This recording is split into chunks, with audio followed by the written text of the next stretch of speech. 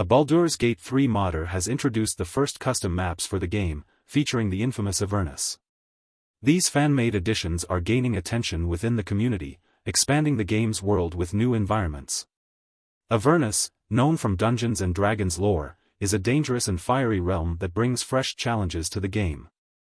Other maps are also being developed, offering players even more variety and creativity. This breakthrough in modding shows the growing potential for player-created content in Baldur's Gate 3, providing an exciting new layer to the role-playing experience.